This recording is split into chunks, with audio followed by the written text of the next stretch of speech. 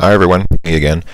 Um, I'm still building up my character, but I wanted to show you a couple of things that you can do to make this process easier if you're going to do it uh, as I'm trying to do it. I'm going to uh, load the game that I made. Say I made this um, save called grinding. I'm going to restore that. First of all, notice uh, that I do have an additional point that I didn't have at the end of the last video. That's because I have defeated some brigands. For the fighter character, you get uh, points for the first time you defeat each monster type. So the first time I killed a brigand, I got an, I got one more point for that. So that's why there's uh, my score is 75, whereas at the end of last video was 74.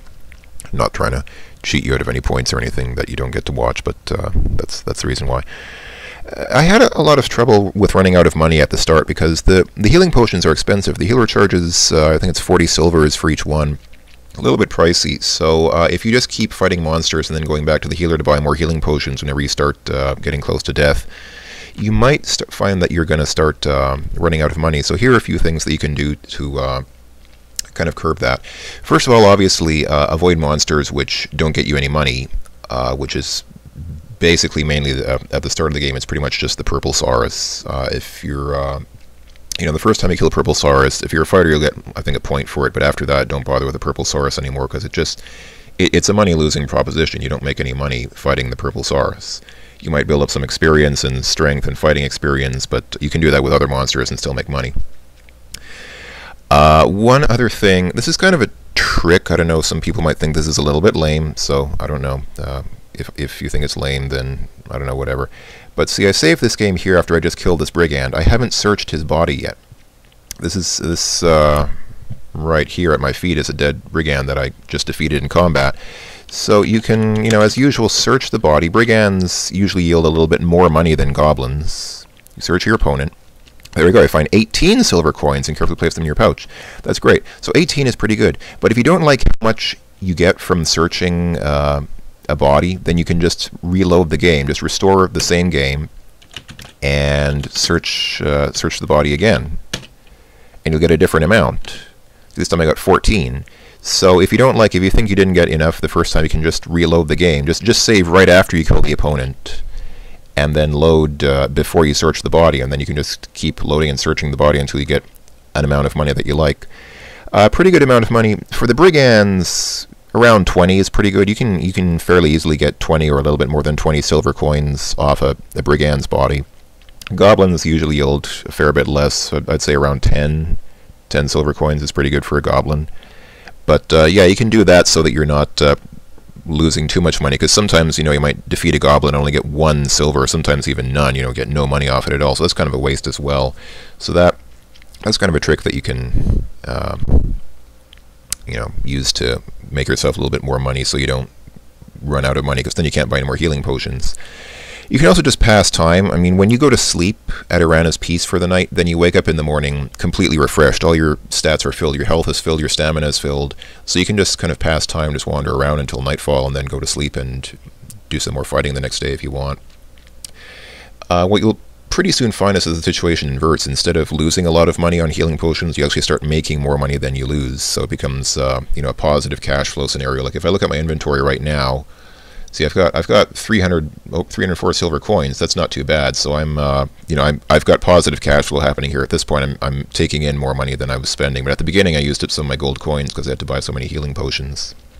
So I'm not going to show you my stats yet because I'm still working on them, but they're a lot better than they were, and hopefully I'll develop them a little bit more, and then we can continue on with um, with the adventuring. Uh, also notice, when you drink a healing potion, it leaves you with an empty flask. I have seven empty flasks. You can sell these to the healer. You can just go to the healer and sell the empty flask, and she'll give you, I think it's just one silver coin. Not a big deal, but, you know, when you're starting off, every little bit helps.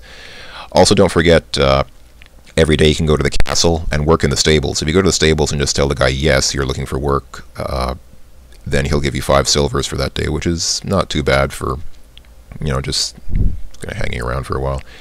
There's one other screen I want to show you. I'm going to run there. Uh, let me see if I can find it because I don't remember exactly how to get there. Um, oh, this is a this is a cool screen. We'll come back to this later. Just a little taste of what's to come. I'm going to talk about this right now, but yeah, that's that's fun. Sort of. Well, depending on your idea of fun, I guess. Where is the screen that I'm looking for? It's somewhere around... Here we go, this is it. Okay, see this screen with all these goblins walking around? You can see there's a little goblin helmet hiding behind there. Okay, this is a place where you can always go to fight goblins. Goblins, remember, are the easiest monsters in the game, so sometimes, you know, you, you get a little bit worn down and you can't fight brigands anymore because brigands are a bit tougher or something like that. You just want to fight some goblins. You can come here and uh, eventually see that there's a goblin in that bush hiding. You have to wait for a goblin to... Let's see, can I fight... Ugh, can I fight the bush? Yeah, there we go. Goblin steps out of the bush. Okay, and here we go. And I've got this goblin that uh, that I can fight now. And, wow, you threw that dead goblin a long way. Okay, this screen is pretty good for building up your stats, because... Search body. You find five silvers concealed in a pouch, you take the silvers. Each time you fight the goblins on the screen, you fight one more than the last time. So see, I just fought a goblin now, but next time, if I, yeah, see, eventually this guy, come on, you have to kind of wait for them to come out of hiding on the screen because they're sort of hiding in the bushes, but eventually if you just keep walking around long enough, one should materialize. Yes? No? Maybe if I leave the screen and come back like that. Come on. Come on, give me a... Okay, I, th I think this guy will fight me because this guy uh, stepped out of the bushes. So if I say fight, yeah, you'll fight all right. See, now there are two goblins. I might actually lose this because my health is way down. Or maybe not. Oh, I think I'm actually going to survive it. Wow. Okay, so see now there are two dead goblins, and you can search, you know, once again, search their bodies. You find four silvers tucked into his tunic. He has no use for the silvers. Into your pocket they go. This poor slob was the big loser at the poker game. He didn't even have lunch money. Okay, so this guy's got no money. But after a while, uh, next time obviously I'll fight three goblins and so on and so on. Uh, and so they keep you keep ending up with more of these dead goblin bodies strewn about the screen. Eventually, I think it goes up to a maximum of eight. And once you kill eight goblins, then you can you can, you can raid all their bodies for, for cash. And some of them won't have any money, but some of them have quite a bit. I think one of them has 35 silver or something like that. So once you keep coming back to the screen and keep fighting more and more goblins, you can use this as a, a relatively easy way to make money because goblins are a relatively easy opponent. Although when they start ganging up on you, it gets tougher. But still, with the money that you make, hopefully you should be able to uh, to go to the healers and buy some more healing potions. So I'm not going to dwell on the screen too long. There is nothing to do on the screen in terms of adventure gaming. There's no, uh, there are no puzzles or anything like that to solve on the screen. It's just basically fighting the goblins. It's a good place to fight goblins if you like. So uh, that's it for now. I'm going to leave you with that. Hopefully you'll have good luck building up your character. And you don't need to build it up as much as I'm going to. I'm just going to build it up because I don't want that, um, you know, those character stats to get in the way of the videos, because that's, you know, that's that's um, not really something that needs to get filmed for YouTube. So, so I'll leave you folks with that. You can have fun, and hopefully in the next video we'll get back to the adventuring after I've buffed up this character some more and he's become a, a big, strong man. Yes. Okay, take care everyone. I'll talk to you later. Thanks for watching.